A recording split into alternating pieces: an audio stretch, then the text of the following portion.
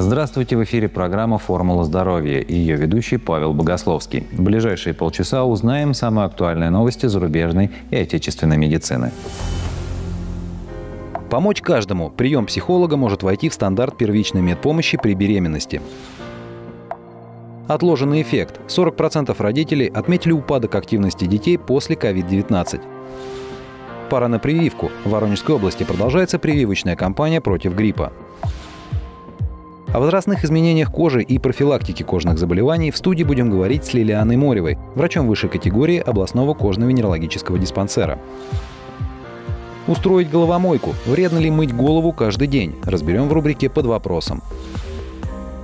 Будь здоров! Как поддержать иммунитет осенью, расскажем в одном из сюжетов. Вот такие темы ждут вас в этом выпуске программы «Формула здоровья». Начинаем с обзора новостей.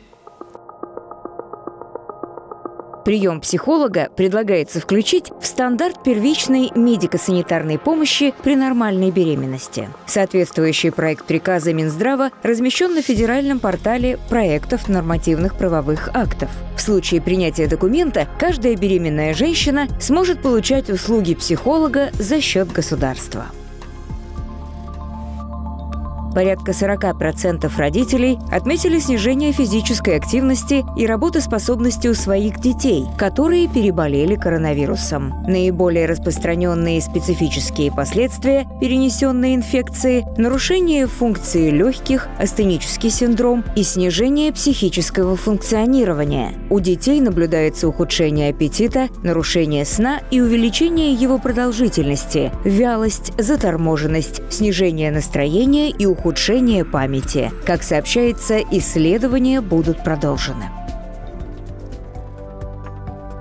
За первые дни осени медики вакцинировали от гриппа более 70 тысяч воронежцев. Всего в регион поступило порядка 292 тысяч доз препарата. Врачи подчеркивают, вакцинация остается самым эффективным способом профилактики гриппа. Она не гарантирует полную защиту, но заметно снижает риск осложнений, и болезнь, как правило, протекает гораздо легче. Сделать прививку можно в любой поликлинике после консультации терапевта. Кожа человека меняется с возрастом, и в каждом периоде у нее появляются свои особенности, заболевания и правила ухода. Так, например, в подростковом возрасте это надоедливые прыщи, а в пожилом – глубокие складки, морщины и пигментные пятна. О возрастных изменениях кожи в студии будем говорить с Лилианой Моревой, врачом высшей категории областного кожно-венерологического диспансера, косметологом, дерматовенерологом. Здравствуйте. Рождается человек, и кожа младенца абсолютно не тождественна коже взрослого человека. Какие да. особенности у младенцев с кожей, на какие внимания стоит, э, на какие проблемы стоит обращать внимание? Кожа у детей новорожденного периода грудничкового более тонкая, э, но роговой слой эпидермиса более тонкий, уязвимый. Э, соответственно, легче проникают и аллергены, токсины. Также происходит ну, трансдермальная потеря жидкости и, соответственно, тоже такая чувствительность или проникновение грибков, ну, бактерий тоже повышается. И поэтому эту кожу мы должны особенно за ней тоже тщательно ухаживать, защищать и э, как бы повышать ее защитные барьерные функции. Потому что, как еще раз говорю, кожа незрелая и функции ее несовершенны. И здесь приходят нам на помощь эмоленты, э, которые сейчас, ну, в настоящее время большое множество. Давайте здесь сразу поясним. Эмоленты – это что такое? Это такие специализированные крема, которые продаются в аптеке, э, которые имеют такой гипоаллерген, они гипоаллергенны. Э, там минимум э, там, таких веществ, как ПАВы, какие-то химические агенты, ароматизаторы, красители.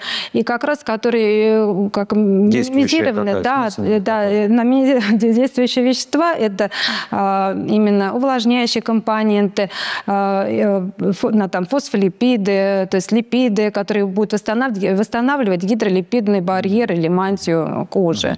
Вот, соответственно, э, более натуральные, натуральные компоненты. Нередко мамы грудничков сталкиваются с таким понятием, как потничка, высыпание, вот что-то такого плана. Почему, во-первых, возникают такие состояния и что с этим делать? В этих э, ситуациях тоже есть, э, существует специализированная косметика, а именно косметика с цинком, болтушки, крема, зима, вот, и, соответственно, тоже сейчас как бы не проблема, то есть это все можно э, приобрести угу. и пользоваться. Угу. Да. Двигаемся дальше. Ребенок растет, развивается, развивается его, очевидно, кожа. Да. Э, доходит до подросткового возраста, и здесь очень много вопросов начинает сразу возникать. Почему? Да, ну дети наши взрослеют, а, начинается э, подростковый период, период полового созревания, а, э, увеличивается количество половых гормонов, выработка. И, э, конечно, мужские половые гормоны особенно как бы отвечают за усиление функций сальных желез, например, там гормон тестостерон. А, под ферментной такой активности 5-альфа-редуктазы переходит до гидроэпиандестерон, который мы, конечно, часто можем исследовать. И вот эти все неблагоприятные такие э, именно свойства, повышение жирности кожи, воспалительные какие-то вот э, на коже э, состояния, это все, конечно, обусловлено вот именно действием вот этих половых гормонов. Но это потому, двоякая ситуация. Вопрос да. гигиены тут стоит? Конечно. И гигиены. Или умывайся, не умывайся, но все равно у тебя проще. Конечно. Во-первых, всегда вот мы лечим как? Мы лечим всегда комплексно. То есть, конечно, мы рекомендуем соблюдать диету, диету при акне, это меньше употреблять простых углеводов, то есть э, пищи сладкой, пирожные, конфеты, там, шоколад, а, затем жирные продукты, конечно, минимизировать, жареные, копченые. А, то есть вот, э, а вот почему так вкусно провоцирует высыпание? Почему так получается? Ну, вот так активизируется тоже, то есть это продукты, да, жиры, как бы, да, э, не полезные жиры, так скажем, тоже они будут э, способствовать, э, знаете, как было такое понятие, мы есть то, что мы едим. То есть наш э, сальный секрет именно будет более тягучим, более таким, то есть как способствовать закупорке сальных желез и так все, далее. чем питаются подростки, им да, нельзя. Да, им нельзя, фастфуд и так далее. Я своим подросткам, детям тоже вот это как бы рекомендую, и пациентам в том числе. Образ жизни, потому что наши вот особенно подростки долго любят засиживаться а, за компьютером, это тоже э, вредно, потому что после 11, вот ну, как говорю, надо ложиться спать э, желательно до 11, потому что после уже э, должен быть сон. И в этот период очень важно для растущего организма в том числе происходит выработка гормонов, гормонов гипофиза, гипоталамуса, которые как раз являются регуляторами и обменных процессов, и гормонального фона. Вот. И вот даже у одного и того же человека в разные периоды его жизни. И деятельность социальных желез может быть различна. Поэтому то есть вот и образ жизни, который э, ведут э, наши пациенты, э, тоже очень важен. Ложись вовремя спать, и будет у тебя лицо чистое. Да, и вовремя спать, и правильное питание. Нет, ну знаете как, это это как один из факторов. факторов, конечно. конечно. Но в том числе, конечно, есть вот что такое вот э, наш диагноз так угри, так он звучит, угу. угри, акне, прыщи, как можно в простонародье. А, вообще это может быть и генетически детерминировано или обусловлено. Это у кого, то есть эта особенность, она передается по наследству, то есть это в первую очередь. Вот. Э, и потом, ну, есть несколько механизмов развития этого заболевания. Это как раз вот генетическая предрасположенность, затем... Давайте поговорим о лечении ограничения, оккупирования подобных ситуаций, потому да. что, ну, понятно, выровняли мы э, обмен веществ, условно говоря, но ведь всегда хочется чем-то помазать, что-то нанести. Конечно. Но лечение тоже, как еще раз говорю, комплексное всегда. Оно, э, диета, э, уход, обязательно уход. То есть это очень важно. Э, что рекомендуем всегда? Очищение, которое должно быть э, мягкое, именно такое... Но не прижигать, да. я правильно понимаю? Ну, знаете, как прижигать можно, если ты там что-то выдавил, да, что тоже мы ругаем за это. Ну, вот, э, конечно... Обеззараживать можно. Обеззараживать можно, но, опять же, все в меру, конечно. А так очищение должно быть э, именно бережным, мягким, обязательно тонизация, ну, то есть тоник должен быть, э, противовоспалительные крема, ну и наши дерматологические средства, которые назначают только, понимаете, в зависимости от степени тяжести, от, как говорится, формы заболевания, потому что ну, мы разделяем там комедон, комедональная форма, потом папула там пустулезная. Здесь могут быть уже и местные антибиотики наружные, и вовнутрь мы назначаем антибиотики антибиотики. Вот. Также мы, конечно, любим использовать ретиноиды, то есть это производная витамина А, который может быть тоже как местно, вот, наружно, так и вовнутрь. Но это уже при более таких тяжелых, устойчивых формах. Ну что ж, давайте сейчас сделаем небольшой перерыв, а после продолжим наше интервью. Одним из видов профилактики множества заболеваний остается регулярная физическая нагрузка. Несколько упражнений правильной разминки покажем прямо сейчас.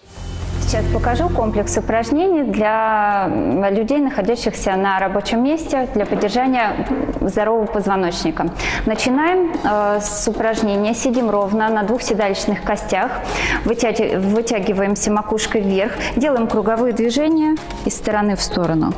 Делаем 8 повторений в одну и в другую сторону закончили. Следующее упражнение, которое мы выполняем. Э, сидим также на двух седалищных костях. Макушкой вытягиваемся вверх, спинка ровная, руки просто опустили вниз, плечики расслабили. Делаем наклон в одну сторону, не поднимая плечо вверх. Плечо должно быть опущено. Делаем также 8 повторений в одну и в другую сторону. Следующее упражнение. Садимся на стул боком. Ручки убираем на затылок. Спинка плотно прижата, стопы стоят. Делаем наклон. На вдохе отводим корпус назад, на выдохе возвращаемся. Вдох назад, на выдохе возвращаемся. Следующее упражнение. Руками упираемся на стол, руки кладем за голову и плавно отъезжаем назад. Вытягиваем спину и возвращаемся обратно. Снова отъезжаем назад и возвращаемся обратно. Следующее упражнение – мы садимся на край стула, ножку ставим на колено, за край колена. Другой рукой э, мы опускаем, слегка надавливая на колено, опускаем его вниз. У нас должно быть э, легкое потяжение внутренней поверхности бедра задней, спинка при этом ровная, макушка вытягиваемся вверх. Посидели так одну-две минутки, поменяли ногу. Следующее упражнение. Э, остаемся в этом же положении на краю стула. Ножку оставляем также на краю колена. Другой рукой мы цепляемся противоположно за колено и это вытягиваемся в сторону. Вытянулись, э, сидим так 30 секунд. У нас должно быть легкое потяжение грудной мышцы, бицепса. Вытянули, поменяли ножку и руку. То же самое выполнили в другую сторону.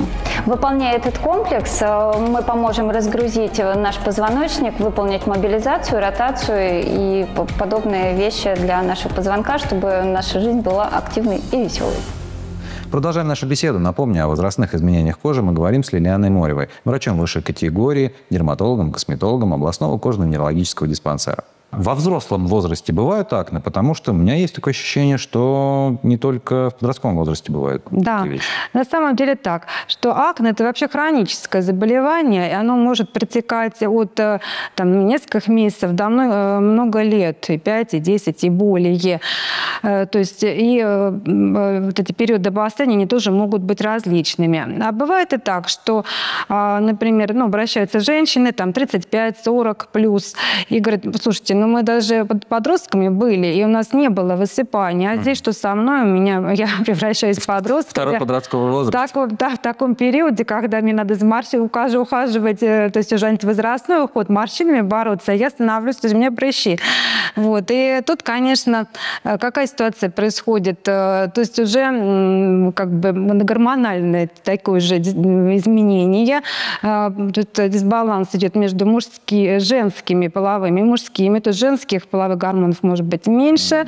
Эстроген уменьшается. Эстроген уменьшается, да. Вот э, мужские половые тестостерон, ну, то есть, э, то есть относительно такой дисбаланс да, увеличивается. Здесь мы работаем с гинекологами, эндокринологами и эндокринологами, а, потому что только они имеют право назначать гормональные контрацептивы с антиандрогенным а, компонентами, которые вот... Ну, не столько как контрацептивы, да, сколько как именно Да, не для контрацептивы, да, пожалуйста, можно как бы, да, а именно для лечения вот именно этого состояния, не меньше 6-9 месяцев.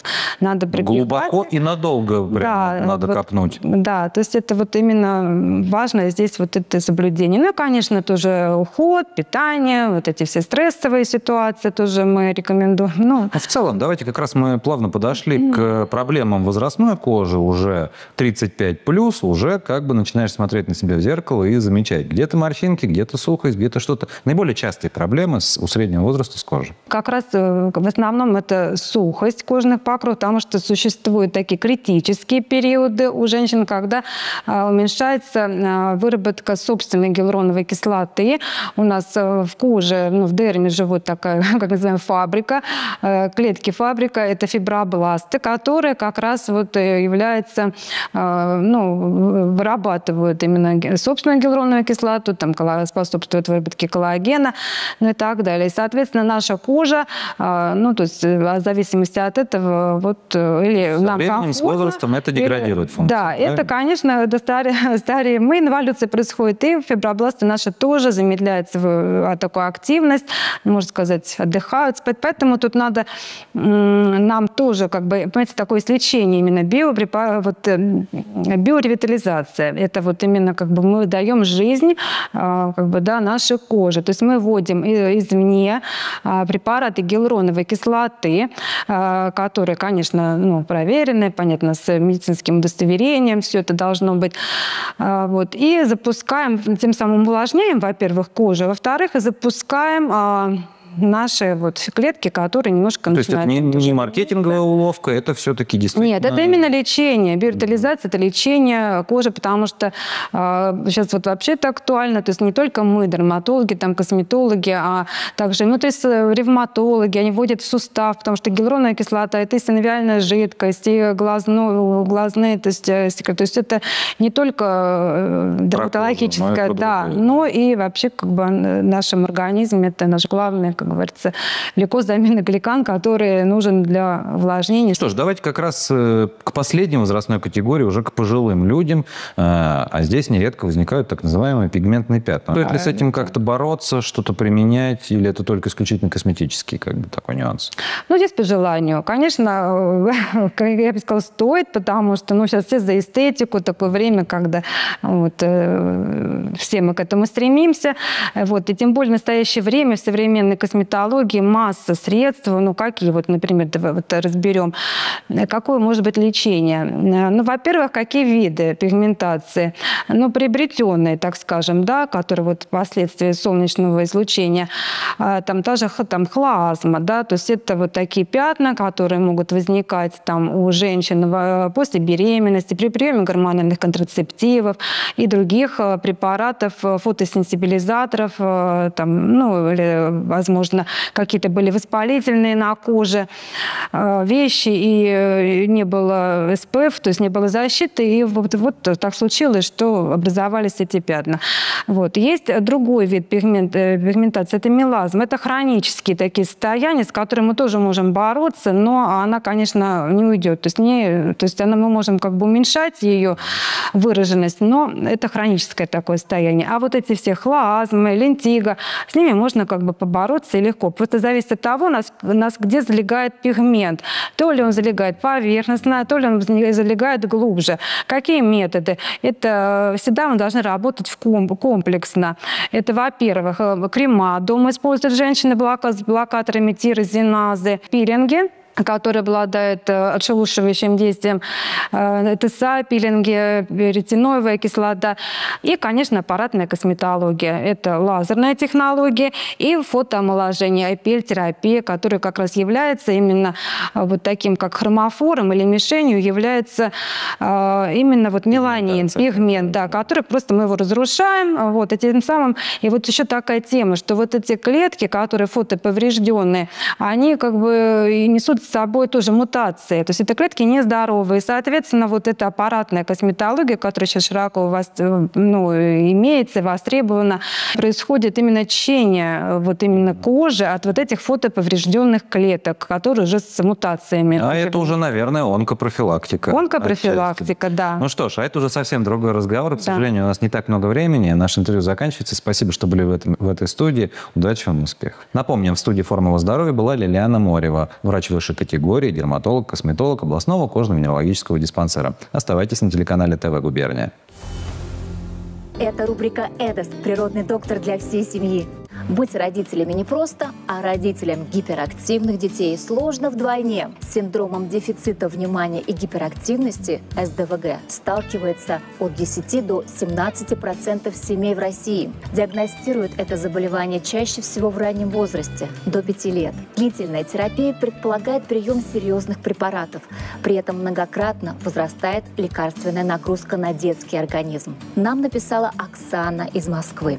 Природный доктор Эдес, помогите. Я мама ребенка с СДВГ. Диагноз Матвею поставили в два года. Сейчас сыну 4. Мы время от времени пьем курсы препаратов, а успокоительные требуются Матвею регулярно. Меня пугает большое количество побочных эффектов.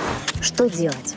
Дорогая Оксана, вы с Матвеем проходите долгий и непростой путь. СДВГ не безобидный диагноз, хотя раньше его симптомы списывали на особенности характера. Специалисты предупреждают, синдром дефицита внимания и гиперактивности может стать причиной других серьезных расстройств. Для того, чтобы снизить градус тревоги и наладить здоровый сон, неврологи часто советуют природное успокоительное Пассамбра Эдос 306. Принимать его могут дети с одного года и взрослые. Пассамбра Эдос 306 содержит только натуральные компоненты. Среди них валерьяна и тропическая лиана пассифлора.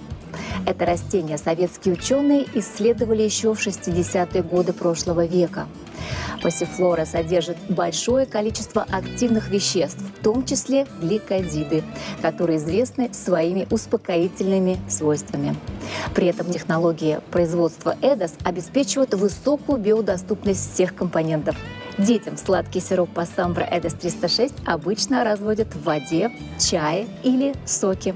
Все натуральные лекарства от российской компании Эдос доступны по цене, совместимы с другими препаратами и не вызывают привыкания а высокое качество продукции «Эдос» гарантировано 30-летней репутацией компании. Желаю здоровья и спокойствия в доме вам и вашим близким. И напоминаю, что широкий ассортимент натуральных лекарств природного доктора «Эдос» для всей семьи можно купить без рецепта и по выгодным ценам как в обычных аптеках, так и онлайн. Далее в программе «Устроим головомойку». Узнаем, вредно ли мыть голову каждый день, а также напомним полезные рецепты. Расскажем, как поддерживать иммунитет осенью. В сети гуляет много противоречащих друг другу утверждений, как часто можно использовать шампунь, есть ли от этого вред и что будет, если мыть голову каждый день. Разбираемся в этих вопросах в нашей рубрике «Под вопросом».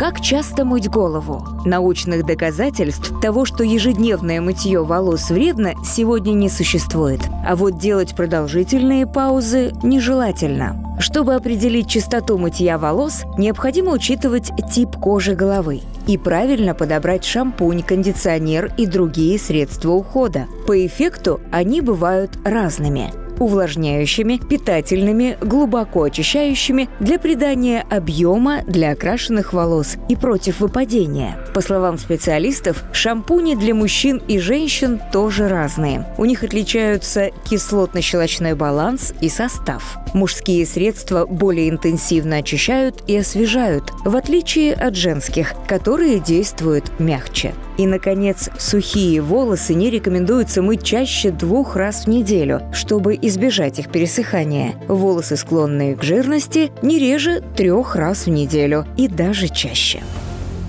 В осенний период ухудшается не только психоэмоциональное, но и физическое состояние человека. Чем ближе зима, тем чаще обостряются хронические болезни и возникают различные инфекции. Как поддержать иммунитет осенью, расскажем в следующем сюжете. Иммунная система человеческого организма – это своеобразный щит, помощью которого мы противостоим разного рода инфекциям и влияниям извне. Именно благодаря сильному иммунитету мы можем не опасаться за свое здоровье в период эпидемий. Но готовить организм к холодам следует задолго до того времени, как эпидемии простудных заболеваний заявят о себе. Ведь организм со сниженной иммунной защитой не устоит перед натиском неблагоприятных факторов в виде плохой погоды, простуды и чихающих прохожих. Самый лучший способ – это занимайтесь спортом и следите за собой. Правильно питаться, дышать свежим воздухом, заниматься спортом. Ну, побольше гулять, наслаждаться солнцем, пока оно еще есть. И радоваться жизни. Как житель Воронежа, я, например, с удовольствием гуляю по вот, бульвару Карл Маркса, то есть хожу пешком в любую погоду.